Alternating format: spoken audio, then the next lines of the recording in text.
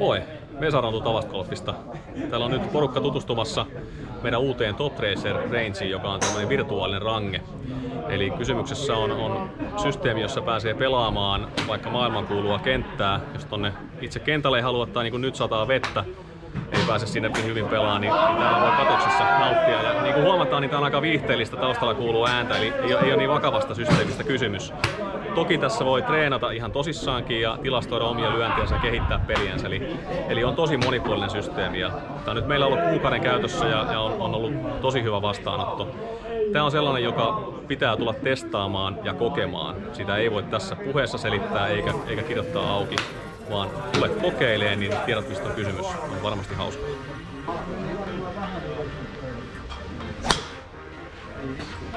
autot siellä. Väylä. Toi ruutu näyttää sen ainakin tonne hotellin pihaan. Oho, se on hotellin pihassa.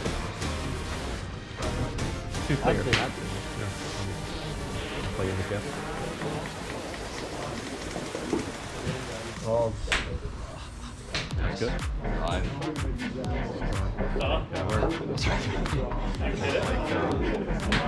so yeah, of course Japan. Let's go, let's get it. Mä veikkaan, että tää nyt tässä kokemus rupee puhumaan. Puhumaan näitä tekojen reikien jälkeen.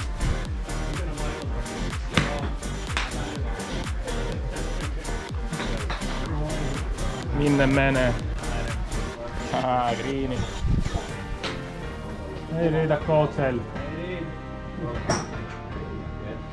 Juha, onko coachit tänään niinku Näköjään aika ylivoimassa. Sen kamera.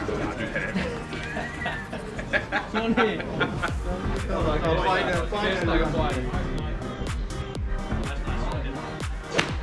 Hyvä! Ja tuossa noitten golfareittenkin tiimoilta huomannut sen, että on, ei tarvitse lähteä etsiä niitä palloja, että tässä ei huku palloja, niin se on tosi, tosi hyvä juttu ja on kyllä kiva pelata. Tosta näkee selkeästi mihin se menee ja helppo käyttänyt. Mäkin osaan käyttää. Tässä. Tän kesän paras lyönti. Ei hirveesti lisättävä. Great system. Sick. Mario's gonna put it right in the hole right here. Depends for who. Like, you can see how bad I am.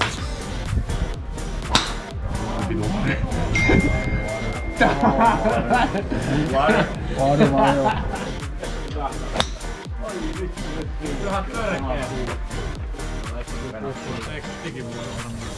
Tota, onks tää mik? Kato melkein lipulla. Ah! Ihan väärälle lipulla. Hyvä laite. Henni kokeiltu ja Tää on kiva, kun ei tarvii kävellä tonne pallon perään. Pääsee silti pelaamaan. Tota, mikä tää, mikä väylä? Siis tää on golf, golf. Mo- baari mikä? Toimii. Ihan hauska pelimuoto.